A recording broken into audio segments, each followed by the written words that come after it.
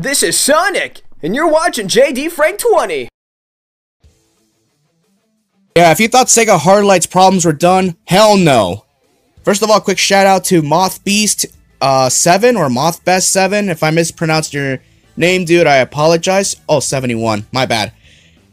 Yeah, because now, uh, since I posted that Sonic Forces Speed Battle uh, video, the last one, before you're seeing this one, I've been getting requests from players uh, sending me footage of either overpowered players or hackers, whichever helps, because I am working on the Ultimate Rant video as a special tribute uh, to Atlas, who's a, is a great friend, and honestly, I want to do him justice by making this Ultimate Rant video. Right now, what you're seeing is, it's going to be a tease of it. You're going to see some pieces here and there.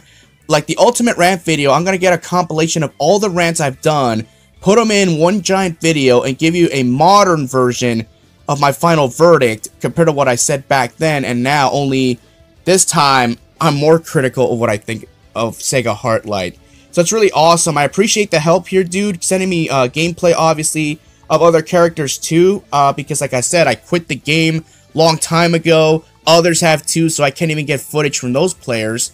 But thankfully, this uh, thankfully this dude right here, he's awesome. He can get me modern footage if I need it.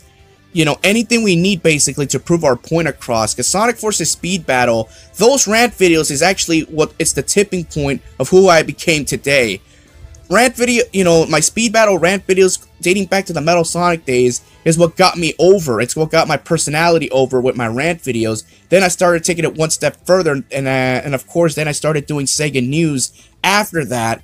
And now you can see the rest is history. I enjoy doing reaction videos because I tell the fucking truth here. I'm not a I'm not a sellout. I'm not one of these players that just buy the game and just take it up the ass and expect to advertise the game. That's not what I do here. So again, I appreciate the help, dude. And if there's others out there, please let me know. Leave a link, uh, leave a comment. And if you want to talk privately, you know, you can send me the information on Twitter, Instagram, Discord. Just ask me anything. You know, you can DM me anywhere. If you want to send your information, your commentary, whatever you prefer. That's another thing too. Like if you're all interested in doing it, I mean, if you're interested in doing a Discord chat in a way, so you can hear my side of the story, you can tell me your side of the story, we can add it on the channel. That'll work, anything, because I'm not gonna let those bastards at Sega Hardlight get away with this. That's for damn sure. They may have blocked me on Twitter, but I enjoy it because at the end of the day, it just shows how what a bunch of spineless cowards those bastards are.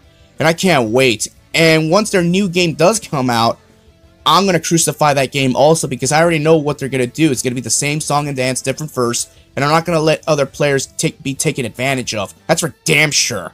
Alright, let me know what y'all thinking. I gotta go. Peace out.